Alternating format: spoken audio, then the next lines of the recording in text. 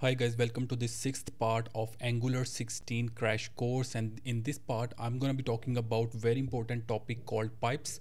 And I've created a new Angular 16 project and uh, it has this variable only. And I've removed everything from the template and this is being rendered through interpolation. And you can see this is the text being rendered from here all right and piping is actually used to modify the content through interpolation. Let's say that we don't want to modify the content. It can be the string integer decimals or any kind of data. And through piping we want to modify the data directly in our html through pipes all right? So let's get started. First of all we have this string in the title. And let's say we want to make this text uppercase or lowercase. And the piping is done through this pipe.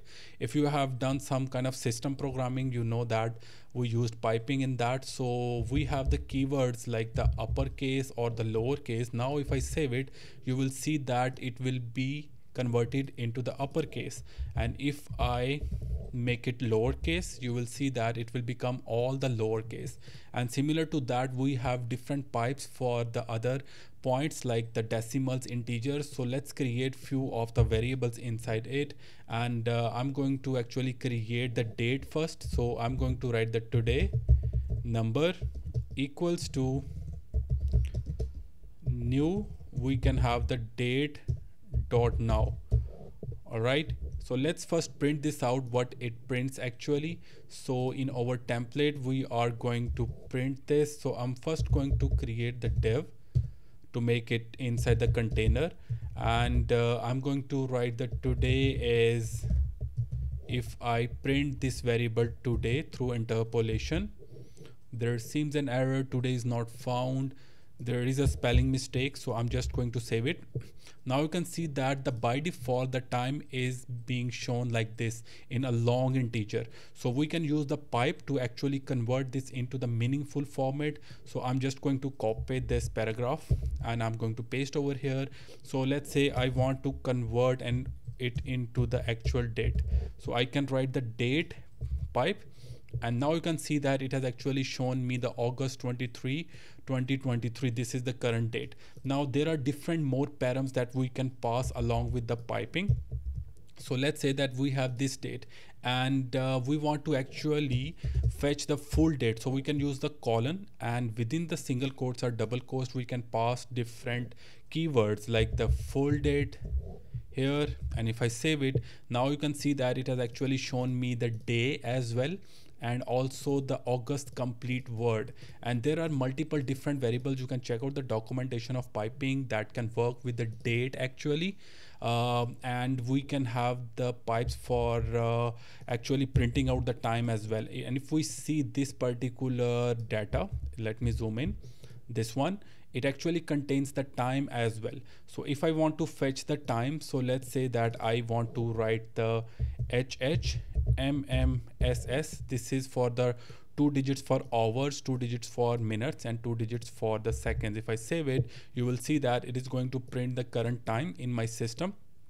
And uh, this is how I can format it. If I remove one H you will see that uh, it will not do anything but if there is some kind of 0 1 or 0 2 then it's going to only show the 2 3 and removing the 0 but um, let's say that I only want to print one S add this to remove the zeros whether it can be from the hours minutes or the seconds but currently there is no zero. That's why it has keeping all the digits of this time all right? So that's for the time for the date and we have talked about the string as well.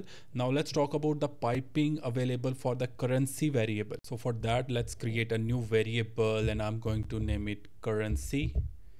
And it is of type number equals to let's say that I want to add 1.3495 okay?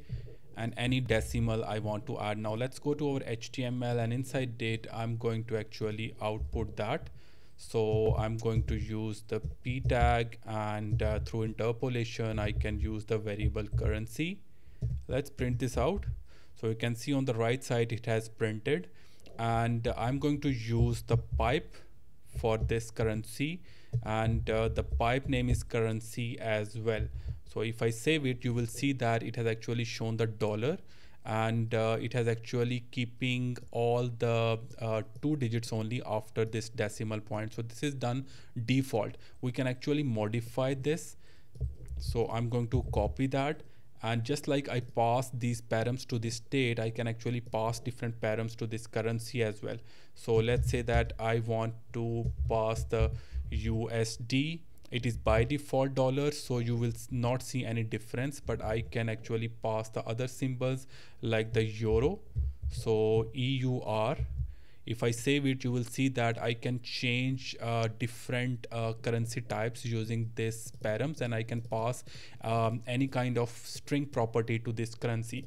Okay? And along with this I can actually add multiple colons and add multiple values to it. So let's say that uh, I want to show the symbol but it's already being shown.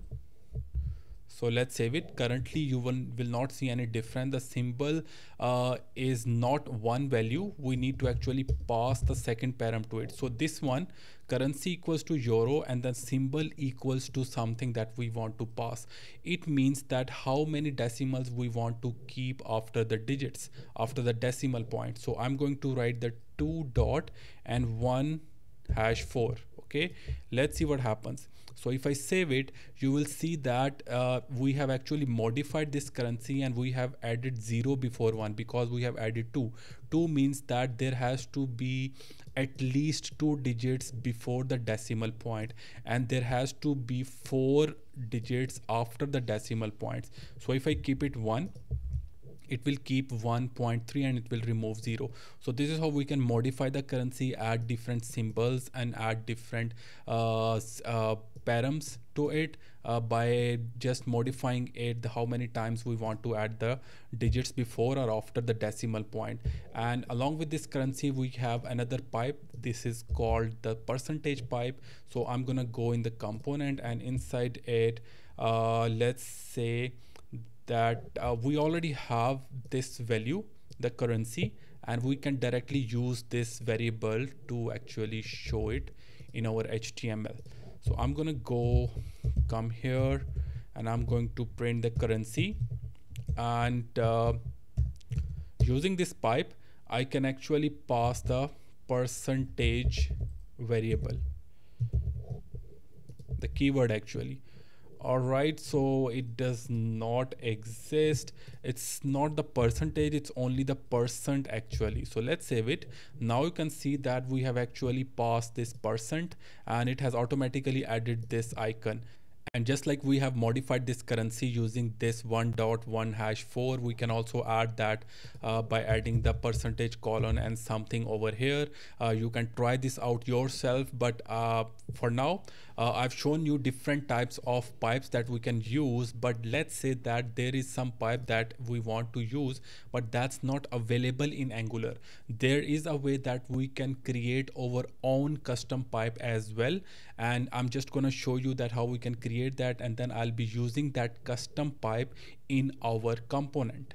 So for creating custom pipe, we actually need to create a file within extension .pipe.ts. But there is a way that we can use the Angular CLI built-in commands to create the pipe file and its testing file as well. So if you remember at the start of the crash course, I showed you that how we can install the Angular CLI. And once we install Angular CLI, we can use the ng command and we can create the component using this keyword. We can create services, pipes, directives, or anything else it provide. Okay, so ng, if I show you, we have the ng installed because we have created the Angular project using the Angular CLI directly okay? So here I'm going to actually use the ng and then I can write the generate keyword and after that I can write the pipe keyword okay? And then I can name the pipe which I want to create okay? I want to create a new folder pipes. It will be created within the app folder of this angular project. And then I'm going to name this pipe append I want to actually append one string with another string with the dynamic data which I'll be passing to this custom pipe. And now I will hit enter.